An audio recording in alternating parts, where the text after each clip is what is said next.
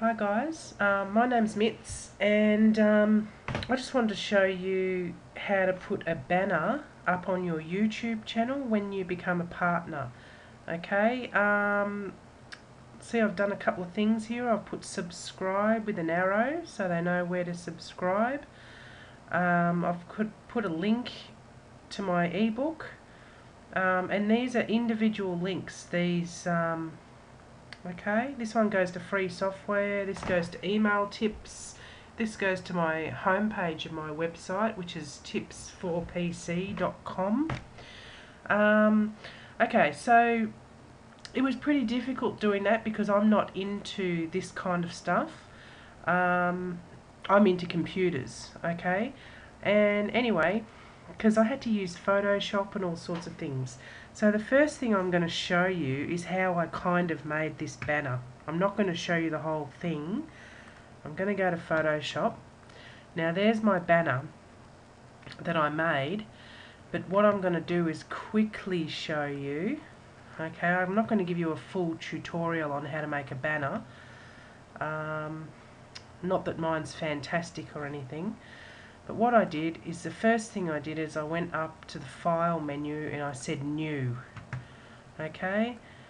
And the actual banner size for the top is 960 by 150. Okay? And that's pixels. And then just press OK. Alright, so there's the spot. The first thing I did was I put a shape in um, in there so I'll just go and get a shape. I'm just going to right click on that because I actually want the rectangle tool. So that's the shapes there. Okay so we're on the rectangle tool. And now I'm just going to go and put a rectangle in there. Okay. Now it's actually filled it with the color that's up there already. Um, okay now, here's the layers and stuff for this. So what I've got at the moment is that blue part that just went in then. So what I did was double click on that layer and you can just play around with this. At the moment it's got a drop, drop shadow on it as you can see and a beveled edge. Now that's because that's what I chose last time when I did it. But you can put in a texture if you want to. Uh, see, I'm just trying to keep it simple but you can change all sorts of things. Okay? I'm just going to leave it the way it is.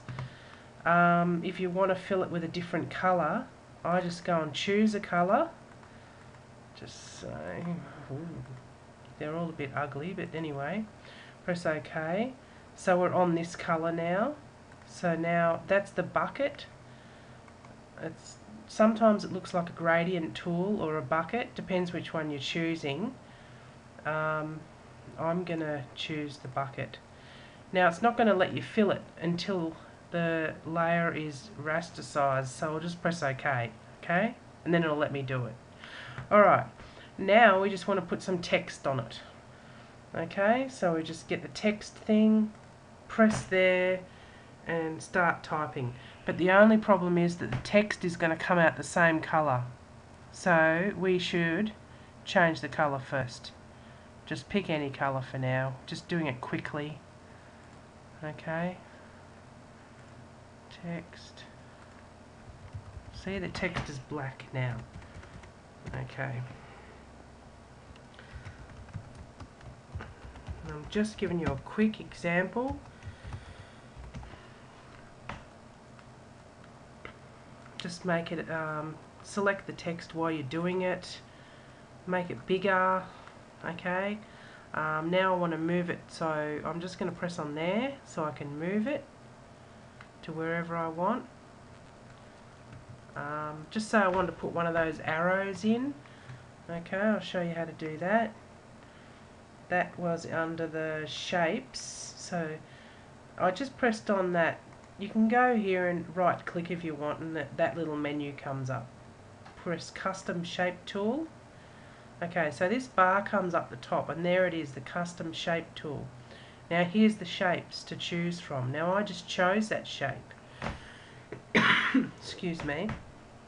And um, what I did was before choosing that shape I just made this the colours um, red let's go I'll just make it something it doesn't matter what colour it is okay there we go red right now we're going to choose the shape which is already on. Let's go there choose the shape. Put it in there. Okay um, okay let's go over here and select it. And we can we can do whatever we want with it really. Stretch it and stuff like that. Take it over the edge a bit um, then we'll go up to this menu here and flip it round okay we'll go to the edit menu go to transform okay and press rotate and that'll let you rotate the image now just say the subscribe button was under there or whatever. I'll also just quickly show you how to make a button on there. You go back to the shapes one. Oh sorry, we'll just press on this first to, so we can apply that and finish with it.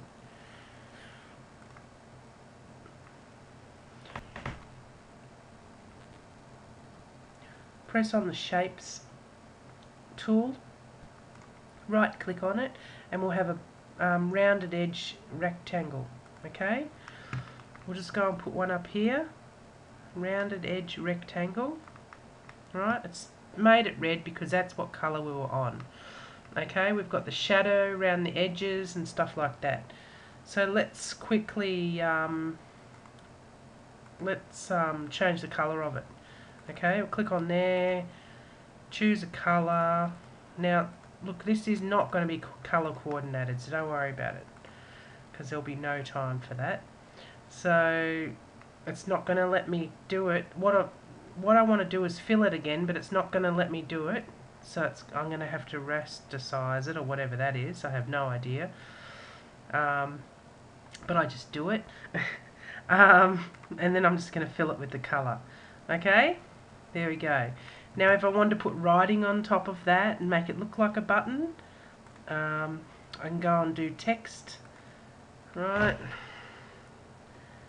um, and again I'm typing in that colour again, whatever colour is up there. So let's change it to something else, okay? And let's shrink it a bit too because it's kind of got to go on the button. So we'll just go like that. Like you can, and then we, we want to we want to pick it up and move it. So I want to press on that now I'm going to move it over here. Okay? Alright um, I think that's enough for that. So what I did I made the banner okay? And then I went up to here and I said save um, save for web okay?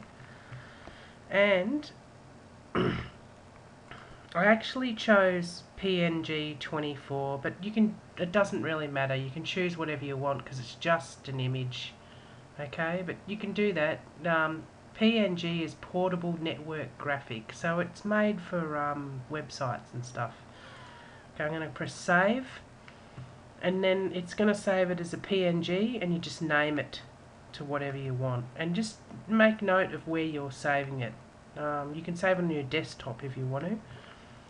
Okay, so I'm just going to cancel that because I don't want to save it. Okay, I'm going to get out of that. So we've got the banner.